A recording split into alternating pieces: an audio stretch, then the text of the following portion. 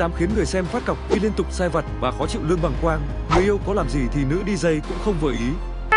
anh đổ lên nhanh lên chứ để nó nguội nó khô queo rồi còn bây giờ ông nướng cái bánh xong rồi ông mới nhớ là chưa có rắc chi thiệt tình luôn á này anh anh bỏ bỏ dưới kia luôn đi Sao ông Quang bị hất hủi thấy thương vậy? Sao bà không làm đi la ổng quay ha? Tôi toàn để ý ông Quang thấy ông sợ bà Ngân thương thương sao á?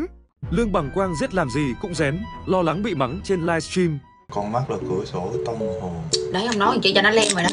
Chị ơi chị bớt nói lại để em làm chị. Nhỏ thôi để cho hàng xóm người ta không? em. chị bớt nói lại đi để em make up cho nó đẹp nè.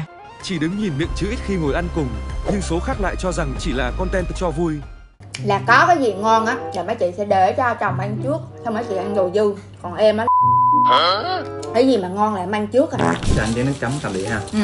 Anh lấy gì anh chấm vô? Đây. Dưa leo yes. Cho anh miếng dưa leo nè và đây chấm anh cầm đi ạ cầm này đi đây cảm ơn Trong video mukbang pizza, Ngân 98 đã liên tục có thái độ khó chịu, Lương Bằng Quang làm gì cũng không vừa ý bạn gái.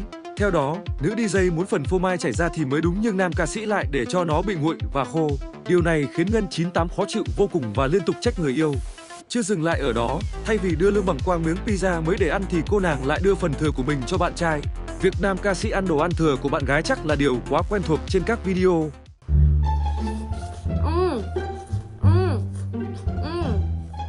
Nóng quá này anh ăn cái này anh Quang ơi còn nhiều lắm chị Thế mà Lương Bằng Quang vẫn rất vui vẻ ăn. Sau đó cô nàng chuyển qua bốc ba món salad và lại đẩy phần pira ăn chưa xong sang phía bạn trai. Cộng đồng mạng nhìn thấy rõ thái độ hất hủi mà Ngân 98 dành cho Lương Bằng Quang trong video. Tuy nhiên, nếu theo dõi cặp đôi từ trước đến nay thì người xem đã không còn lạ trước những hành động và lời nói không được vui vẻ của Ngân 98 đối với chú Quang. Video này là được ngồi ăn cạnh chứ dân tình, vẫn còn nhớ những video mukbang gà hay hải sản ê hề. Ngân 98 vẫn để cho bạn trai đứng đằng sau nhìn mình chứ không mời lên cùng ngồi ăn.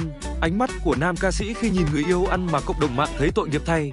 Cô nàng cho biết chị em nào lúc ăn hay nhường cho bạn trai hoặc chồng ăn chứ còn Ngân 98 thì không. Cái gì mà ngon là người đẹp sẽ ăn trước chứ không có chuyện nhường. Còn ví dụ như xương là để nam ca sĩ ăn.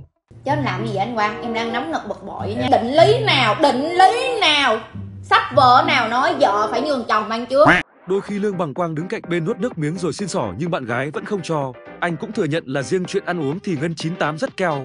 trời ngon quá cho miếng đâu vô vậy trời đồ ăn là em ngân keo lắm Lúc nào, nam ca sĩ cũng trong trạng thái lo lắng, sợ bạn gái sẽ mắng mình ngay trên sóng livestream.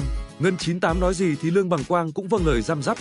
Nhiều người xem cảm thấy khó chịu và phát cọc thay nam ca sĩ, tuy nhiên anh vẫn rất vui vẻ hợp tác với bạn gái trong các video. Có người xem cho rằng có thể đây là phong cách riêng của cả hai, content tí cho có điểm khác biệt chứ nếu Ngân 98 đối xử tệ với bạn trai như vậy làm gì có chuyện cả hai đã bên nhau được gần ấy năm. Trong nhiều video, nữ DJ cũng lo lắng nút cho bạn trai ăn, chỉ là hơi ít hơn số lần ngồi ăn một mình.